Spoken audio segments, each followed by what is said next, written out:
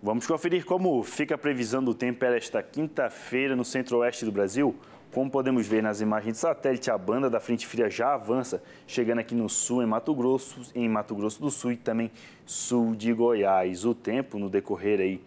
do, desta quinta-feira, temos aí temporais aí com possibilidade de queda de granizo e também rajadas de vento acima de 60 km por hora em toda a faixa azul que compreende boa parte dos três estados. Tempo firme somente no extremo sul em Mato Grosso do Sul e faixa norte do estado de Goiás e nordeste aí do estado de Mato Grosso olhando para o acumulado de chuva nos próximos cinco dias, chuvas esparsas que não devem ultrapassar 20 e 30 milímetros em alguns pontos aqui em Mato Grosso do Sul, sul centro-sul de Goiás e também centro-sul de Mato Grosso. Olhando para o próximo período de 20 a 25 de setembro, nada de chuva em Goiás, também em Mato Grosso do Sul, até com as chuvas retornando aqui em parte da faixa oeste em Mato Grosso, porém não resolve a situação da ausência de chuvas aí na região, que a,